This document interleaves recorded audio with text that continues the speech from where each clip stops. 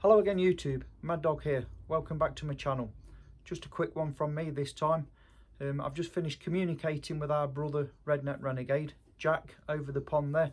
And um, he's just been telling me that he's going through a pretty, a pretty rough patch at the moment. Um, apparently his house has been flooded.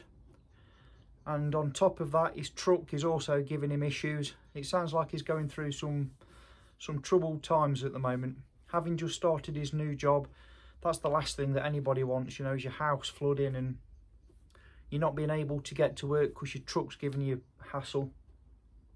So I've gone ahead and communicated this out and been speaking with our other brother, Ron T. Sawyer, the legend. and um, we're sort of between us trying to get a GoFundMe um, established. As you all know, Redneck is um, the kindest, most charitable person you've probably ever met within our community.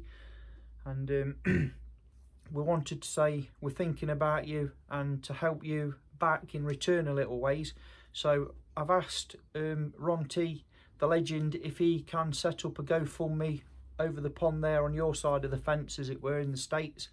And uh, obviously, I'm going to be doing this video and uh, contributing to that fund and I'm also asking you guys and lasses even if you can't contribute to the GoFundMe if you would consider making a video like this getting the GoFundMe link which I will leave in my description box below and um, copy paste it and please get the word out there. The more people see this and the more we can spread that uh, Redneck needs some help the better off he will be.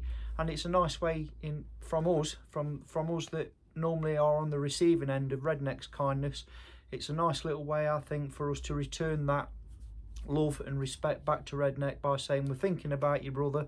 It may not be much, but we can try and help, you know, and, and just show some love back to Redneck because he's always giving, and um, it's our our turn to step up and help him out in his time of need. So let's make this happen, guys and lasses, please.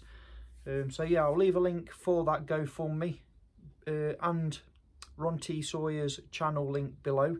So if you can help, every little helps. I'm sorry to have to come begging. not really begging, I'm asking.